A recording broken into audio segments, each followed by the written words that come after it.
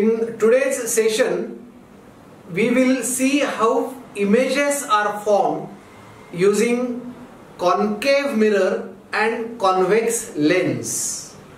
You know that concave mirror produces real images which can be captured on screen. Same is true for convex lens.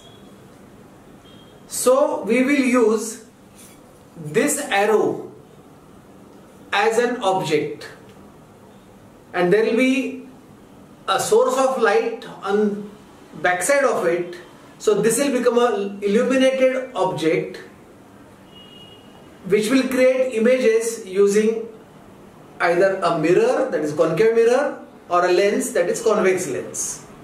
We will also in the same continuity try to learn how exactly your vision is corrected by you know we use spectacles to correct our vision. We will show it using a convex and concave lens and exactly know how vision is corrected. So let us go for activities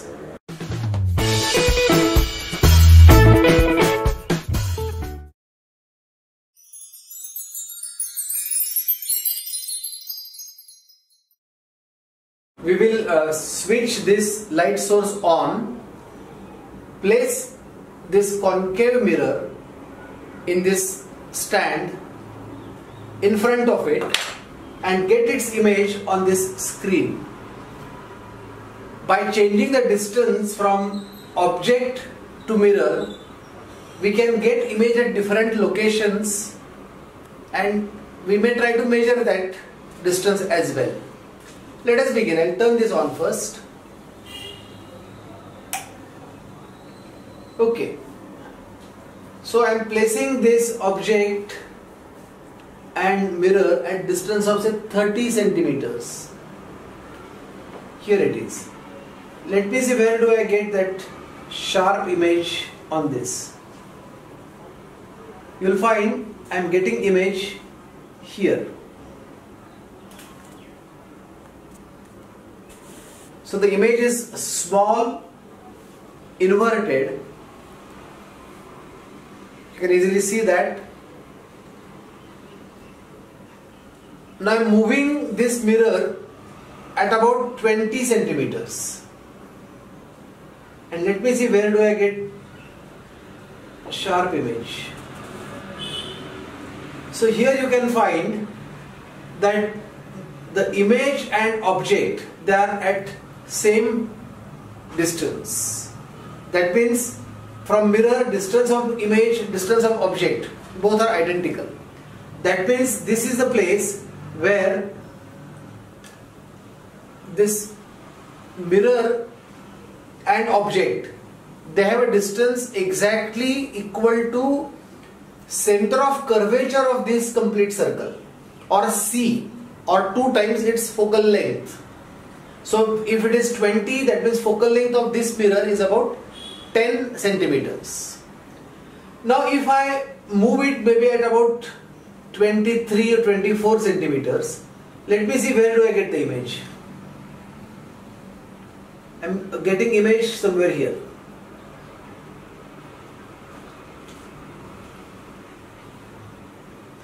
And one more try I'll just show you. If I place the object at a distance of about say uh, 15 centimeters.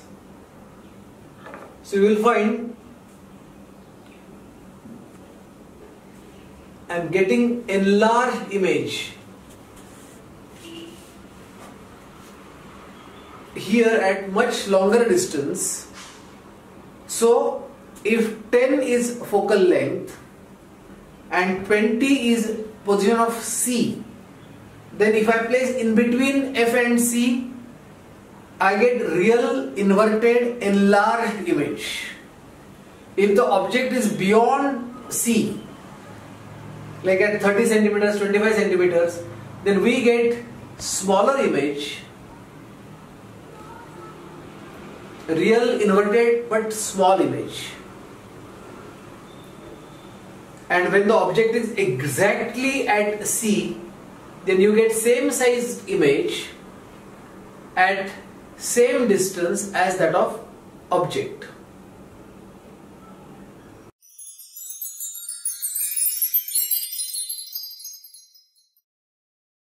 We will try out image formation using convex lens. So that lens is placed in this stand and I am placing it here. The distance right now is 20 cent 20.5 centimeters. So I'll just adjust the sharp image here on this screen and measure distance from lens to this image as well. So that is again 20.5. So and again you can notice that image size is same as object size. We are using this arrow as an object. So they are same. And so this is the distance equal to double of focal length that is 2f. This again same distance. So when the object is at 2f distance from lens, image is also at 2f distance from lens and image is inverted, real and of same size. If I move this forward, I am placing it at about say uh, 28 or 29 centimeters. let me see where do I get the image. I am getting image here. So you can easily find that the image distance is much less that is hardly 15 15 centimeters image size is very small or that is diminished image it is inverted real and small now what will happen if I place the lens if I make the distance between object and lens something like say 12 centimeters or 13 centimeters right now it is 13 centimeters. So you will find you get enlarged image as good as you can get that on wall.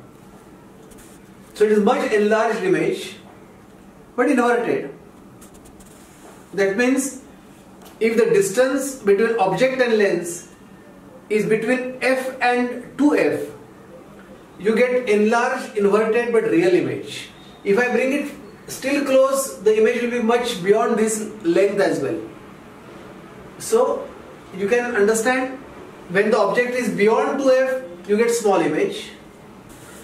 When object is exactly on 2f, you get same size image. And when object is between f and 2f, you get enlarged image. So this is enlarged image again. So this is the way images are formed using convex lens and you know that concave lens does not form real images so you cannot get images like this using a concave lens